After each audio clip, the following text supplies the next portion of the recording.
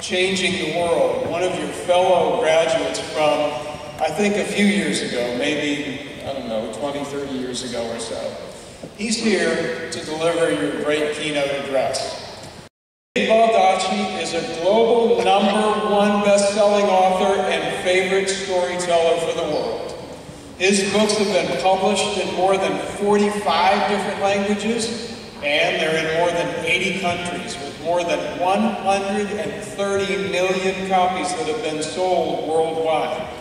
130 million. He's, his works have been adapted for both feature films and television. David and his wife Michelle co-founded the Wish You Well Foundation, whose mission is to support literacy programs across the United States. I want to ask his wife, Michelle Baldacci, to please stand. Where are you, Michelle? Can't see very well.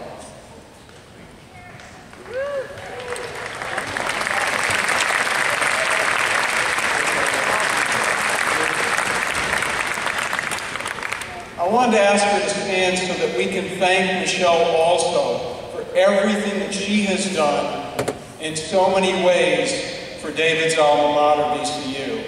This is a person who has a tremendous sense of depth. She's a caring person, she's committed to society, and she too, like all of us at VCU, are committed to all of our people in the world and their success. So Michelle, thank you very much for being here. Thank you for all of your support of VCU. And of course, thank you for your support of David, our star alum. David is a Richmond native, and like all of you, he's a graduate of VCU. He's also a graduate of a law school down the road. He's done very well by them as well, University of Virginia. And David holds an honorary doctorate in Humane Letters from VCU, which was awarded to him way back about 18 years ago in May of 2001. So please join me in welcoming back to his campus David Baldacci, our keynote speaker. David, welcome.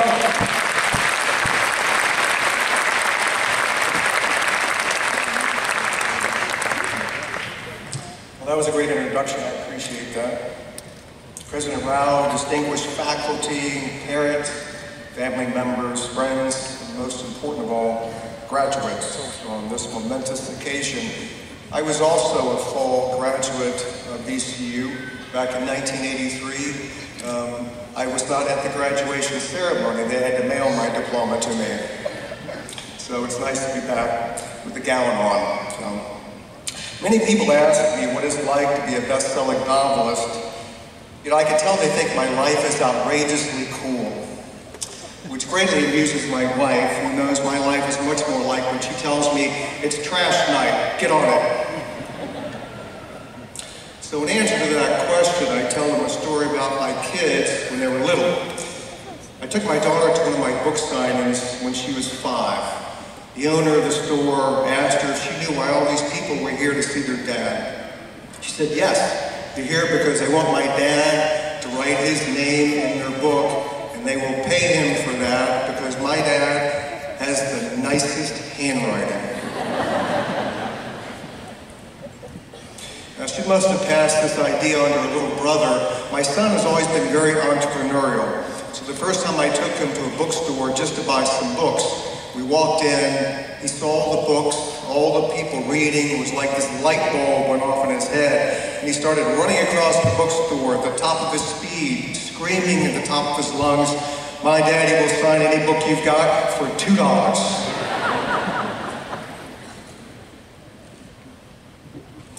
You know, everything is so precise and planned out for young people these days.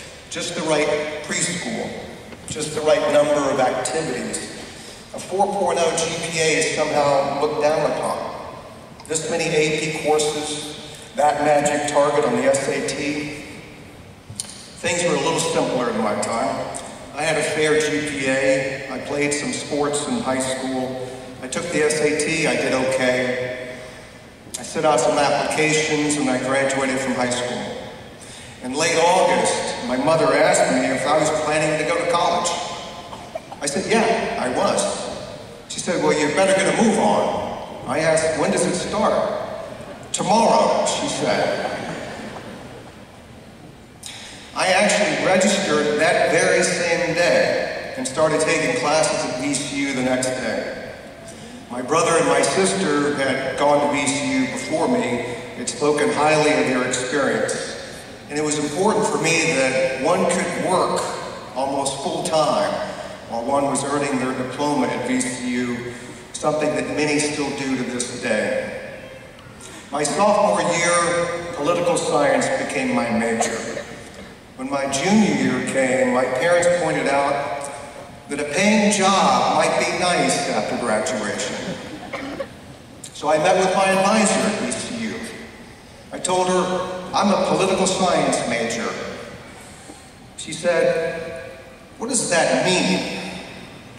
I said, well, I can write a paper on Machiavelli in which I can forcefully argue that he was not nearly as Machiavellian as he appeared to be. She said, so you're, you'll still be wanting a job. I said, isn't there anything I might be suitable for? She said, well, there is law school. Many people with no apparent skills often go on to law school. What do lawyers do? I asked. She said, well, they dress in suits, they eat pretty well, they stand around and talk for hours, and they're paid by the word. Perfect, I said. Actually, I loved my time at law school, even though my classmates were all trying out for law review in moot court, while I was back in my little apartment writing short stories and daydreaming of becoming a writer one day. I graduated and started to work in Washington, D.C. I was a trial lawyer by day and followed my passion of writing late at night. And that's why I write. I have a passion for it. And make no mistake about it, passion is really rare when it comes to one's work. Unfortunately, most people never find it in what they do for a living. And thus, if you do happen upon it, be very loath to part with it because the chances are very low that it will come around a second time in your life. And please don't settle for something in life when you can reach for something else. You know, you're very young right now, whole life ahead of you, but none of us get a do-over on our time on earth. And don't forget, please, to have some fun along the way. But with that passion, and that fun, I am duty bound to say that you should try to earn some money too. Your parents, I am sure, love you, but they also want to turn your bedroom into a he-she cave, so you gotta get out. Really. Not that I've had this discussion with my own kids. Now, I could stand here as I have listened to other commencement speakers and scare you to death by saying that you will face more ominous challenges than any other generation in the history of the world. But look, I suppose if I were standing here in 1861, or 1941, or 2001, I could say the very same thing. The truth is all generations will be challenged in many ways, and you will be no exception. I have no doubt, and I echo President Rao's comments, I have no doubt that you will do many wonderful, world-changing things in your life. You will find cures for cancer. You will solve the problems associated with climate change. You will live to see the day where Mitch McConnell and Nancy Pelosi hug.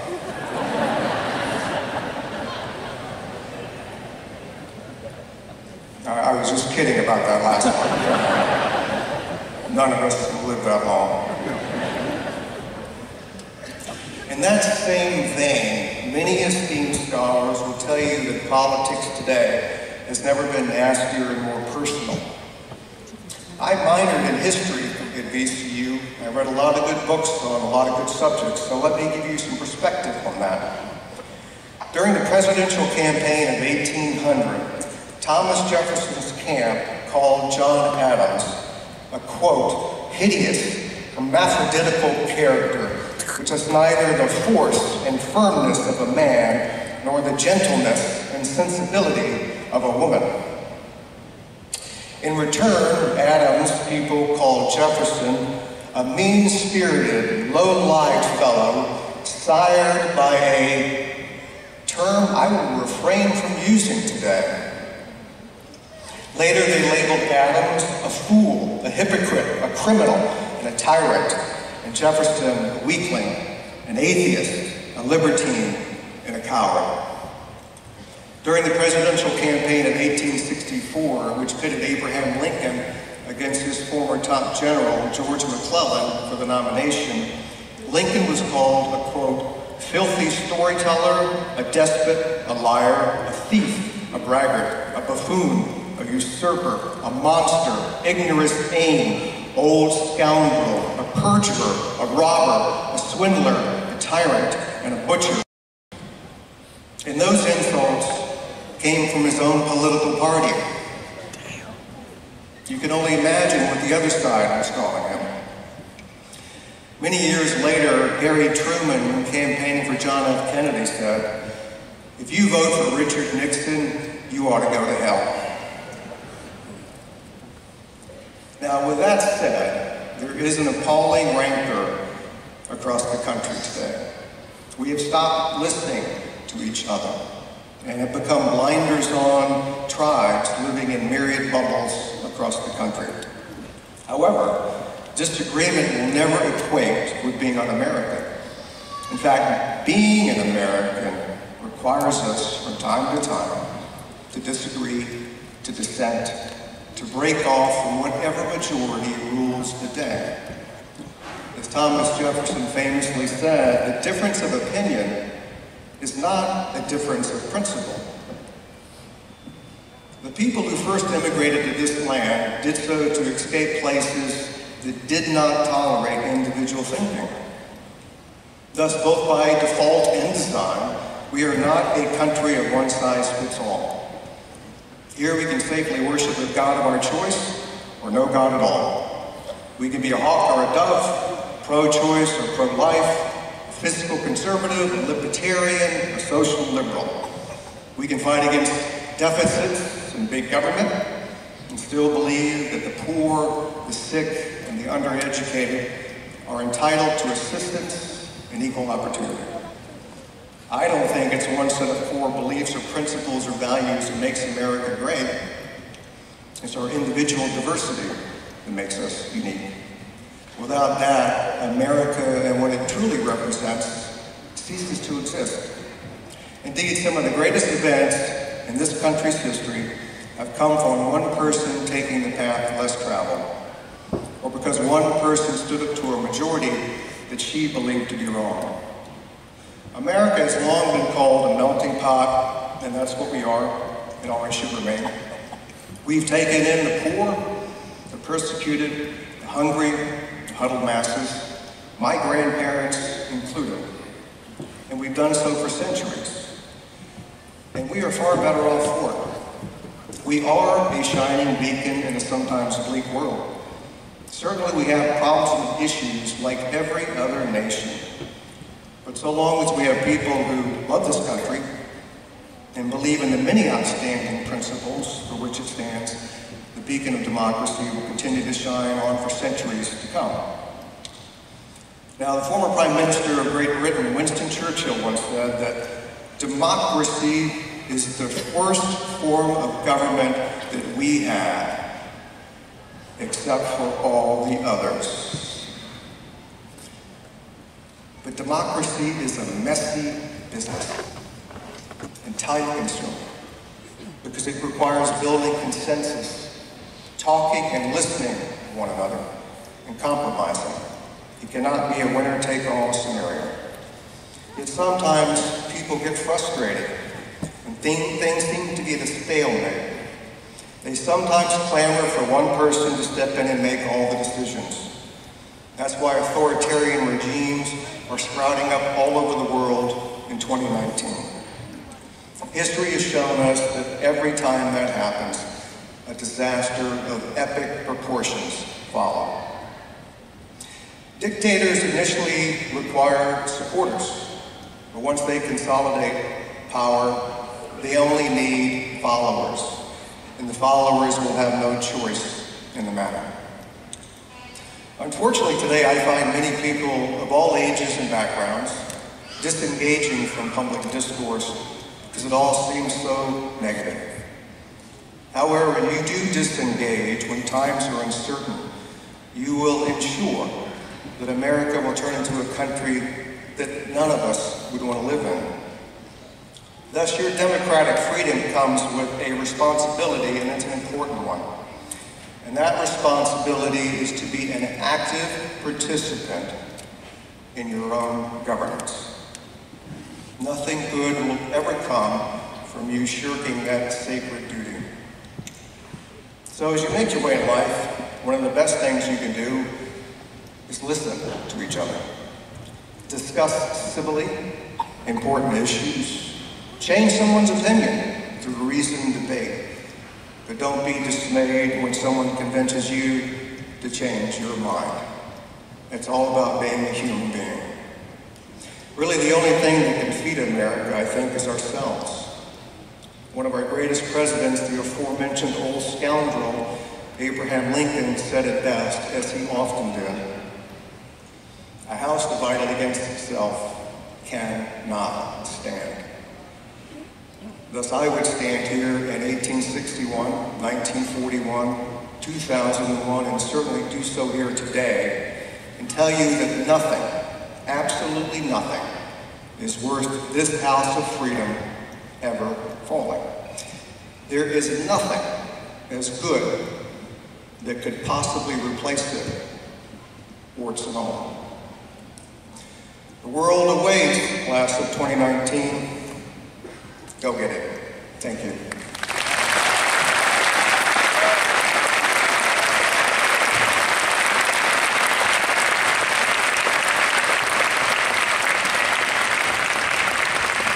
David, thank you for those great words of wisdom, and more importantly, thank you for believing in all.